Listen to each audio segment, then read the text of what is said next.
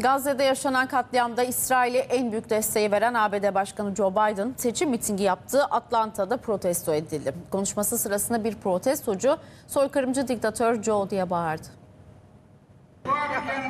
You're dictator Joe! Tens of thousands of Palestinians! Amerikan Başkanı Joe Biden seçim mitinginde bir kez daha Filistin protestosuyla karşılaştı.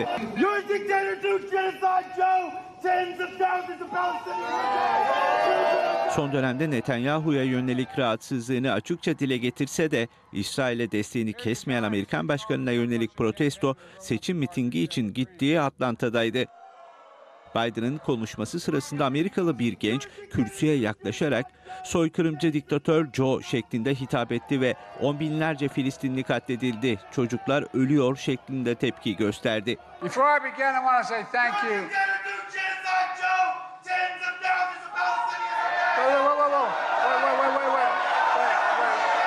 Protesto sırasında Amerikan başkanının korumaları genç protestocuyu hızla olay yerinden uzaklaştırdı.